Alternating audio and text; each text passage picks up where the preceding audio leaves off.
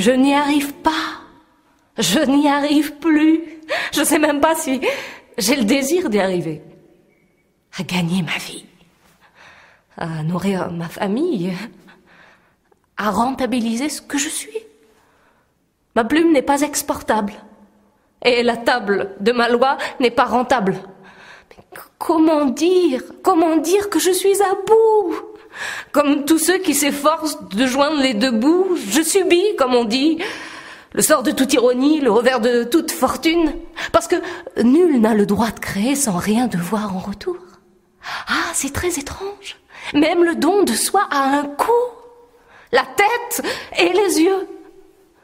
Tout, tout me pousse à intégrer le système marchand.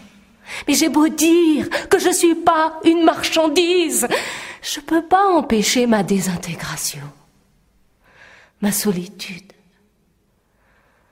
ma lassitude, ma finitude. Suis-je le cordonnier le plus mal chaussé? Suis-je l'aide-soignant le plus mal soigné? Suis-je l'artiste le plus triste ou le plus attristé? Il paraît que nous le sommes tous et toutes parce que le verbe être est en crise. On gagne pas assez pour rembourser la dette, celle que nul n'a contractée. Qu'est-ce que nous avons à perdre? Tout. Puisque l'existence est devenue une question de comptabilité, voire d'incompatibilité entre les moyens et les raisons de vivre. Tout à perdre, rien à gagner. Quelques fleurs, que flirte entre grands esprits, puis rien. Rien ne suffit à combler le trou de notre sécu mental et moral. Je ne vais pas me tirer une balle dans la tête, non. Mais je vais vous demander de le faire, en cessant de m'encourager à faire ce que je fais. Exister.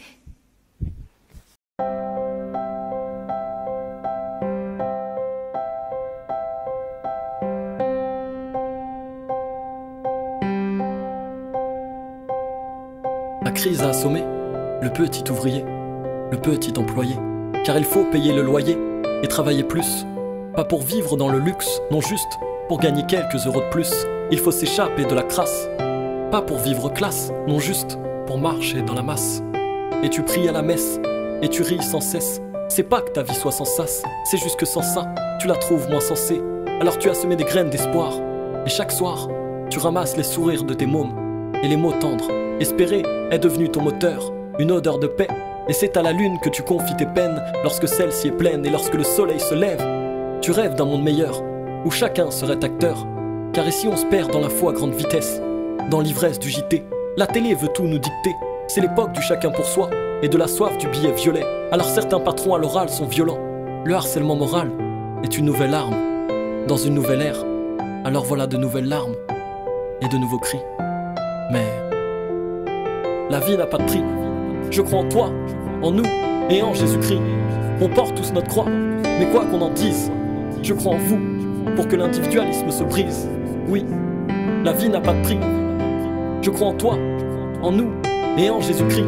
On porte tous notre croix, mais quoi qu'on en dise, je crois en vous pour que l'individualisme se brise. Et j'ai peur que peu à peu les gens ne se parlent plus qu'on ne voit plus que les différences entre un salam et un salut. Et c'est pour cela que la télé est au service du pouvoir. Elle joue son jeu et prend son pourboire. Et pendant ce temps, le sans-papier tente de survivre avec un pistolet sur la tempe et très peu de vivre. Ou comment être libre en étant dans l'attente avec un charter dans la tête? Oui, j'aimerais que tout cela s'arrête. Je veux qu'on vive nos rêves, qu'on change les règles, car nos vies ne sont pas à vendre. Je veux apprendre de l'autre et que les capitalistes bien pensants voient les choses autrement. Mince, on peut plus vivre calmement parce que c'est l'heure du profit et que l'euro est devenu prophète. Il n'y a plus de place pour les faibles. Ainsi, dans les faits, les écarts se creusent entre pauvres et riches.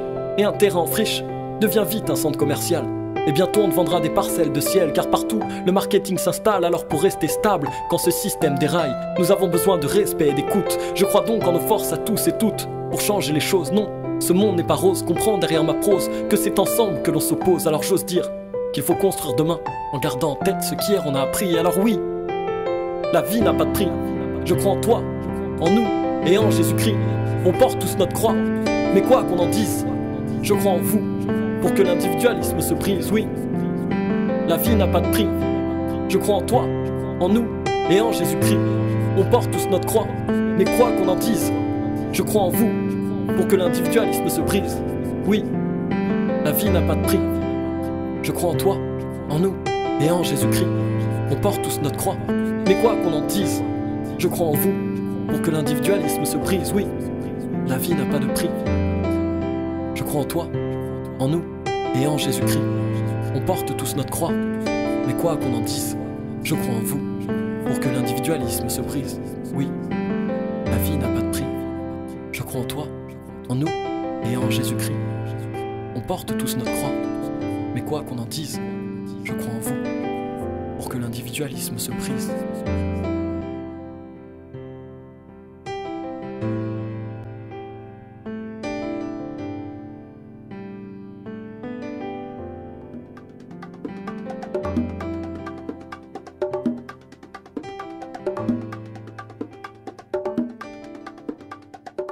L'emploi précaire nous concerne tous. De par sa nature, l'emploi précaire n'offre aucune sécurité. Il s'agit d'un travail temporaire, occasionnel, à temps partiel ou contractuel. Les travailleurs qui occupent un emploi précaire ont des salaires faibles, de mauvaises conditions et ne bénéficient d'aucun droit dans le travail. L'emploi précaire provoque une dégradation des salaires et des conditions pour tous les travailleurs dans tous les pays. À moins que les syndicats ne trouvent un moyen de renverser la situation, tous les travailleurs font face à un avenir incertain. C'est pourquoi la FIOM et ses affiliés luttent pour mettre fin à l'emploi précaire. Partout dans le monde, les syndicats ont recours à de nouvelles méthodes pour toucher des travailleurs occupant un emploi précaire.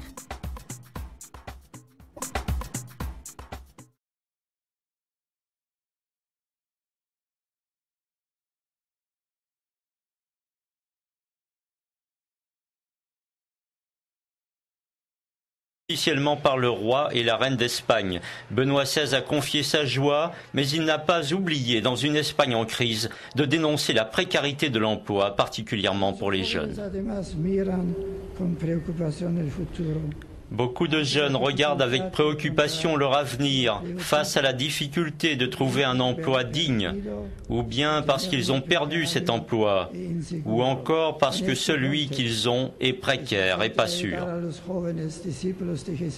Dans ce contexte, il est urgent d'aider les jeunes disciples de Jésus à rester fermes dans leur foi, sans occulter leur propre identité chrétienne, dans un climat de respect avec les autres opinions, mais en exigeant le même respect mutuel.